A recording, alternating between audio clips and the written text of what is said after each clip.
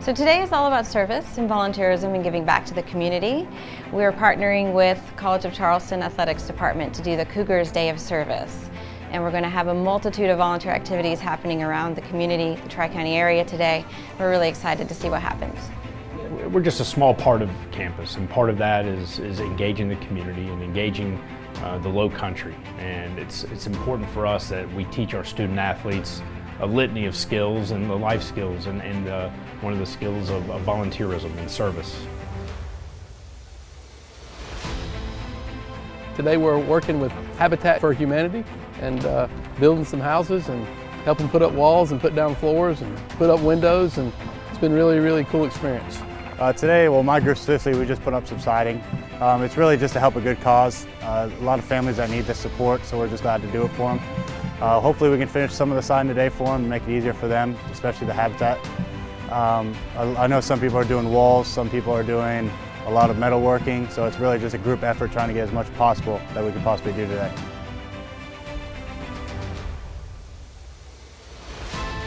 You know, it's a good opportunity for us here at the Tri-County Ministry just to do as much as we can. We have some girls working with the clothing area, we're in the kitchen, some are stocking and, and getting things out of their pantry and helping them out, so just doing everything that we can to help the community. I think it's just awesome that, especially today, like all the student athletes have gotten together and got to do like a big project together. Um, because I think like at the college we're just so lucky we're afforded a lot of opportunities and it's so great to like be able to give back to the community. We're at the Low Country Food Bank. Uh, currently we're split up into two groups and we have a couple groups that are packing boxes to send to some different places in the community.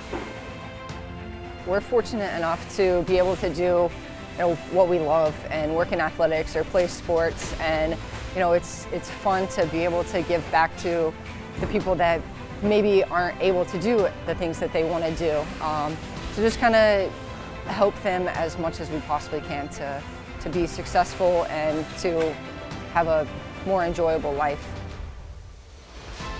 It's on all of us to give back to our community. It's on all of us to take the initiative to find the time uh, to give back and make a positive difference in our community. You know, we want people to come and see us, but we have to go and see the people and do everything that we can to help them.